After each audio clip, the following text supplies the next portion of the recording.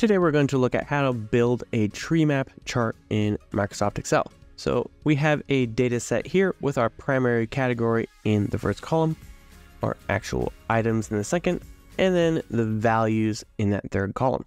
So to build the chart, we're just going to select our data, and then under the Insert tab, we're going to find our tree map chart, which is right here.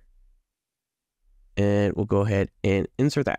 Now we can look at some different options. The first of all, we can change some quick visual options from the styles right here. And so when you find the style that you like, you can go ahead and select that. Then we can do stuff like adjust the chart title here. And we can say items sold.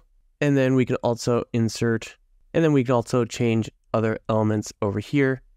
And for example, we can change the data label options if we want to add, for example, the value and you can pick different options here as far as how you want to show those values. So you can put a new line and so forth. Gives you the different options there. Or if you want to hide those again, you can uncheck value. Another option you can do is if we right click here and format data series, you can determine if you want this to be actually up on top instead of kind of within that section. Or you can go to none if you just want to keep it more simplistic like that. So let's go ahead and go with banner for now.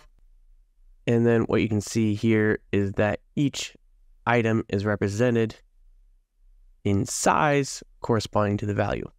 So let's go ahead and look at a slightly more complicated one. This one we're including a category.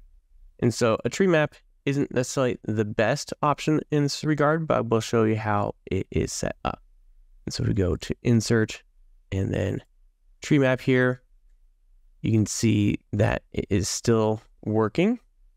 But however, you cannot see the category breakdown. That's not an option available. And so while it is split here by beverage and then our food items, and the same thing here, our beverages are up top and our food items are down below, there's no way to get that label there. And so you may want to go with something other like a sunburst chart or something like that, that allows you to see that multiple breakdown.